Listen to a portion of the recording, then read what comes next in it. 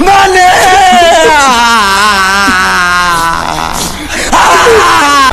अब इस बोट को आराम से बेच सकते हैं। हम्म।